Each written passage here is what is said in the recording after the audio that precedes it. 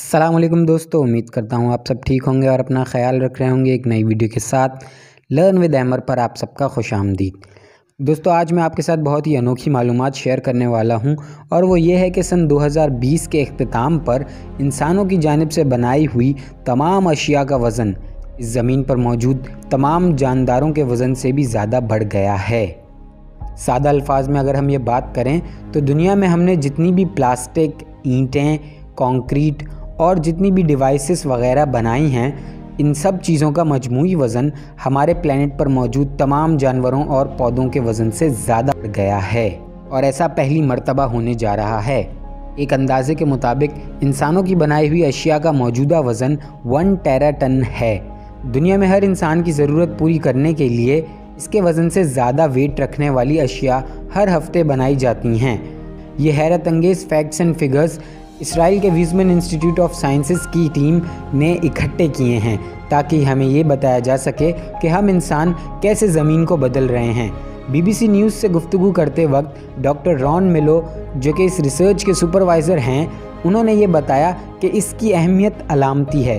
یہ facts and figures ہمیں یہ بتاتے ہیں کہ جو کچھ اس دنیا میں ہمارے ارد گرد ہو رہا ہے یعنی جو ہماری دنیا بدل رہی ہے، اس کو ایسا بنانے میں انسان کا مرکزی کردار ہے۔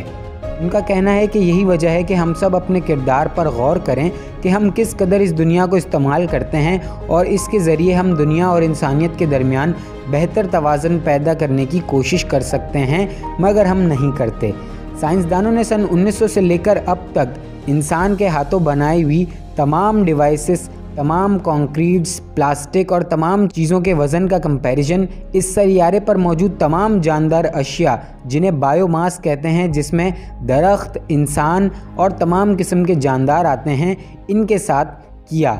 پلاسٹک کی بوتلوں سے لے کر اینٹوں اور کانکریٹ تک، جنہیں ہم شاہراہوں کو بنانے کے لیے استعمال کرتے ہیں، ان تمام چیزوں کو ہم انسانوں نے ہی بنایا ہے اور ہر بیس سال میں ان کا وزن دگنا ہوا ہے۔ اور اس کے ساتھ ہی جانداروں کا وزن کم ہو رہا ہے، خاص طور پر قدرتی جگہوں پر درخت اور جنگلات کی کٹائی اس کی ایک وجہ ہے۔ سائنسدانوں کو یہ معلوم تھا کہ کسی ایک نقطے پر ہم اس حد کو پہنچ جائیں گے اور ان کے اندازے کے مطابق سن دو ہزار بیس وہ سال تھا جب انسان کی بنائی ہوئی اشیاء کا وزن انسانوں سے ہی بڑھ جائے گا۔ اور اگر ہم اسے سن دو ہزار چالیس تک اسی طرح جاری رکھتے ہیں تو انسان کی بنائی ہوئی چیزوں کا وزن ون پوائنٹ ون ٹیراٹن سے تین گنا زیادہ بڑھ جائے گا۔ اور اس کا مطلب یہ ہے کہ انسانوں کی جانب سے ہر سال بنائے جانے والے مٹیریلز کا سالانہ وزن 30 گیگا ٹن سے بھی زیادہ ہے۔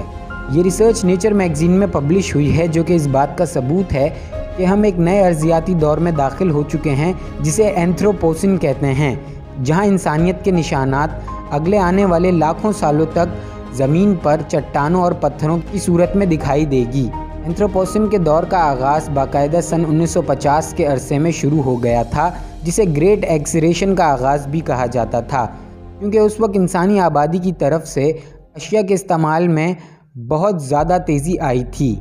ایلومینیم، کانکریٹ اور پلاسٹک کی طرح ہر جگہ استعمال کیے جانے والے مواد کے پھیلاؤ کے ساتھ موافقت بھی رکھتا ہے۔